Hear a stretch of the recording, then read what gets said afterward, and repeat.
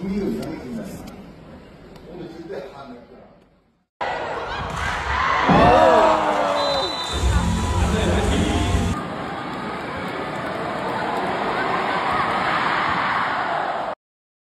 Kohejin siap rakit robot, penuhi keinginan Mega demi progres bermain di Eropa. Kohejin sudah tak sabar rakit Megatron lagi.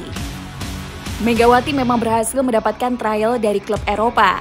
setelah dirinya mendapatkan sorotan langsung dari para scout talent Eropa karena pengaruh pemain asing di Pro Liga yang bermain saat ini.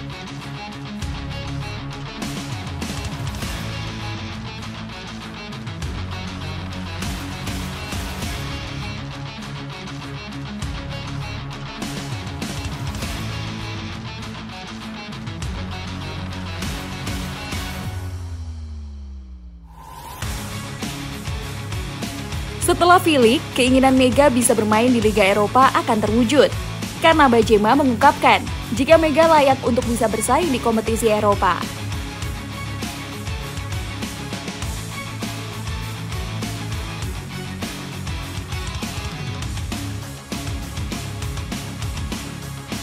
Mega akan punya banyak kesempatan dengan kemampuannya yang terus meningkat saat ini. Apalagi Megawati musim depan di V-League akan dijadikan outside hitter oleh Koejin.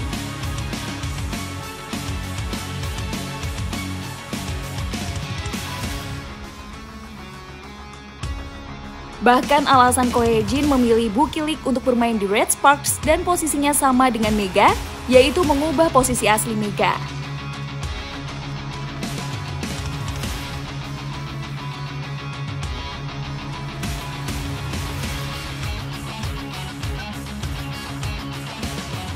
Eropa kebanyakan membutuhkan penyerang yang kuat. Karena hal itulah, Mega akan disulap oleh Kohejin sebagai outside hitter baru milik Red Spark.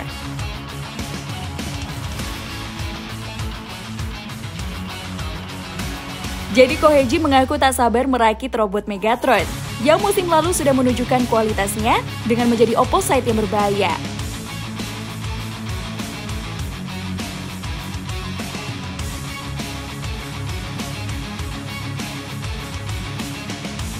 Memang, musim baru masih lama bergulir. Namun saya dan tim sudah mendapatkan cetak biru Red Spark musim depan. Khususnya posisi Bukilik serta Mega yang akan menjadi kejutan. Ucap Kohejin kepada wartawan.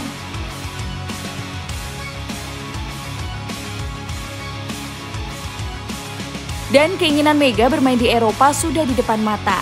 Karena Mega dapatkan trial dari klub Eropa setelah Filik berakhir musim depan.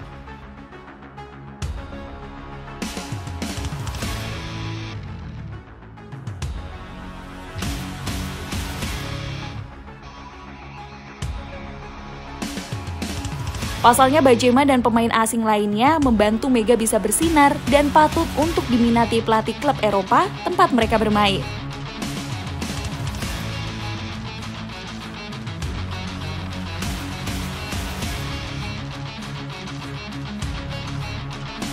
Tak hanya itu saja, Megawati Hangestri Pertiwi memiliki potensi besar mewujudkan impian untuk bisa menjuarai Pro Liga 2024 bersama Jakarta Beat.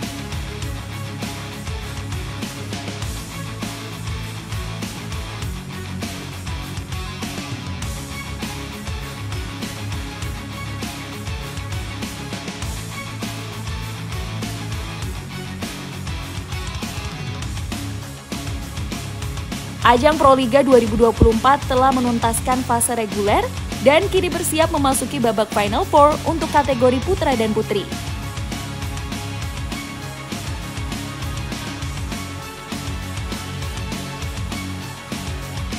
Salah satu tim yang dipandang akan mampu berbicara banyak pada fase Final Four adalah Jakarta Bin yang bermaterikan pemain bintang.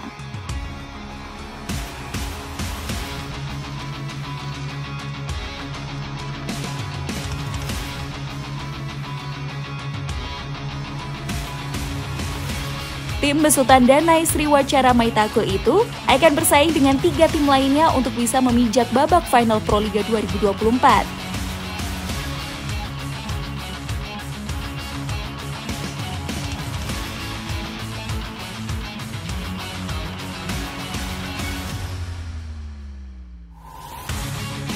Tiga tim tersebut adalah Jakarta Posivo Polwan, Jakarta Electric PLN, dan Jakarta Pertamina Enduro.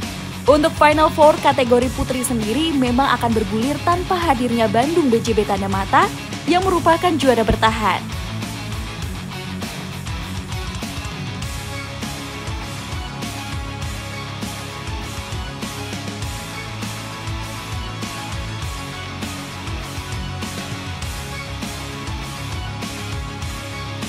Tidak lolosnya juara bertahan dalam dua musim terakhir itu tentunya menjadi peluang tersendiri, salah satunya untuk Jakarta Bin.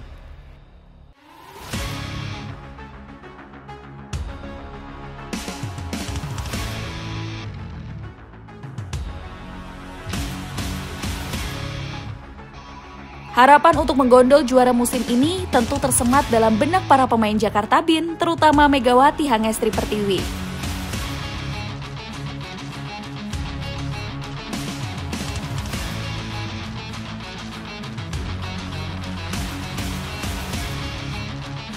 Megawati memang belum pernah sekalipun merasakan manisnya menyabet gelar juara Proliga sepanjang karirnya. Bayang-bayang apa sebelumnya mengiringi langkah Megatron yang sudah tampil di ajang ini sejak tahun 2017 lalu.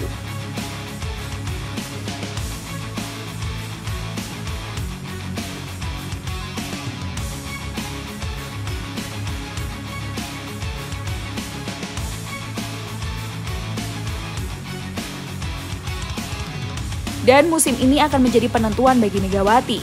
Apakah dirinya akan bisa menyabet juara Pro Liga untuk pertama kalinya nanti?